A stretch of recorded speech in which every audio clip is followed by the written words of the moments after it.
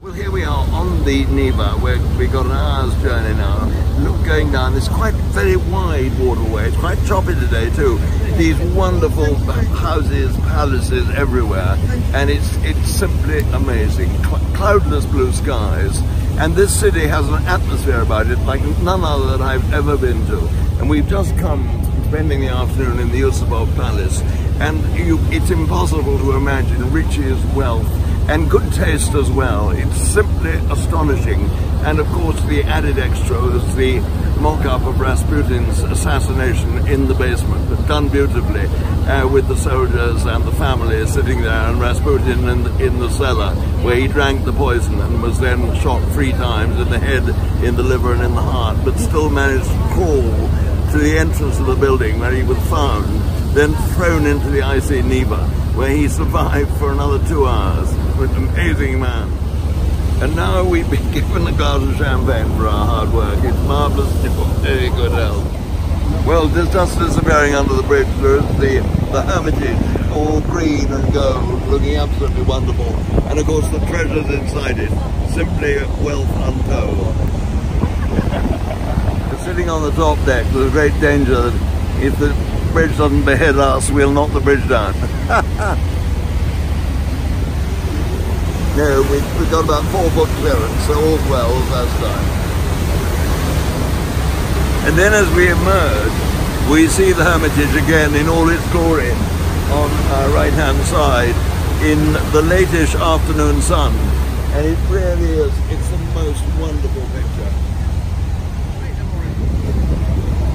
And the astonishing part of this is that this is the most wealthy art collection in the world, which was presided over by for years by a completely totalitarian communist regime. On the other side of the boat, and on the other side of us, we've got a, a holiday cruiser going over there. I don't know if it's a ferry or just a joyride, but uh, it's an absolutely marvellous trip round along the Neva. And um, the Hermitage looking even better today than it did last night makes the um, it makes the River Thames look like a, little dike in comparison.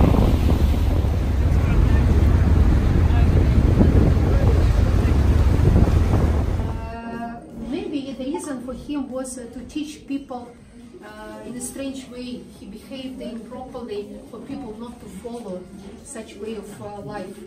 So come here please, space is big enough. So and, uh, Rasputin was a married man with five children.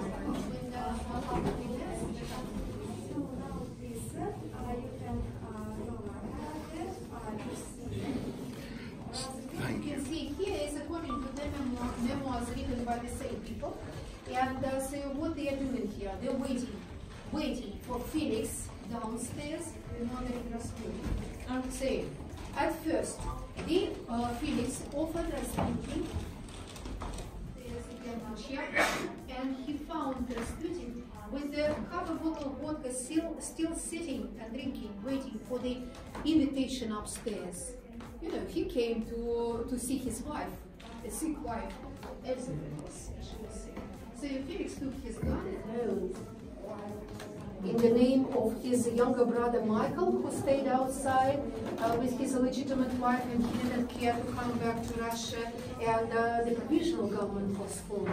And that provisional government didn't make uh, attractive uh, reforms for the country, it lost popularity, and Communist Party had it millennia.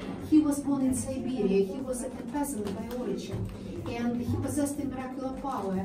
He could stop any attack of any disease only by the power of praying. He was a very religious man. He spent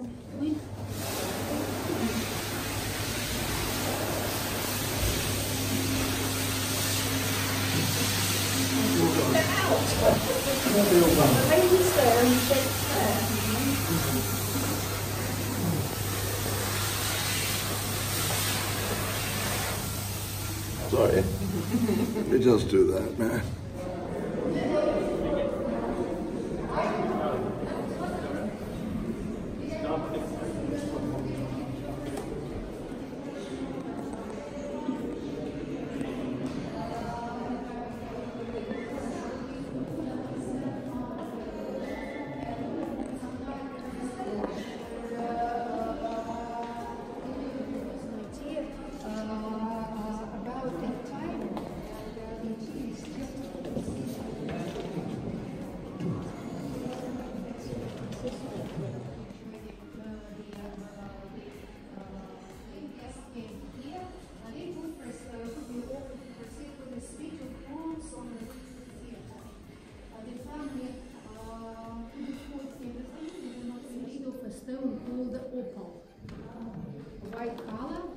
changes color depending on the fit inside of the uh, polling place, like a rainbow. And, uh, the, uh, the chandelier in this room is made of crystal. Uh, pink color is due to uh, melted ruby inside, and then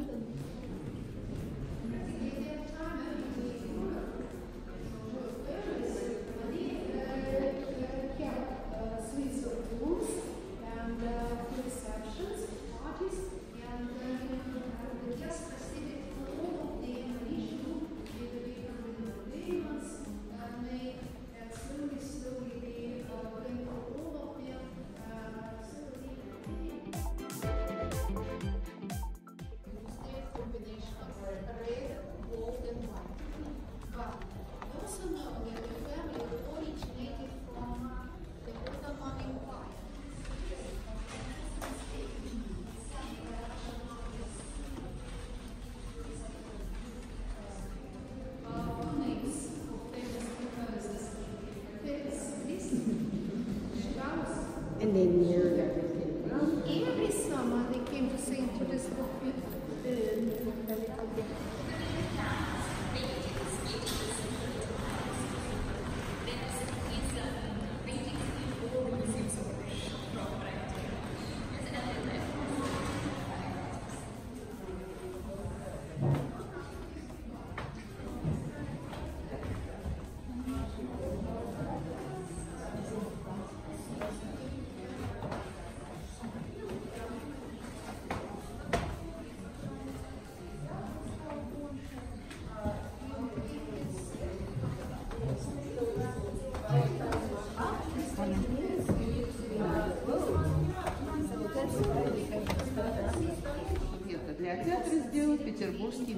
мебельщик Соколов.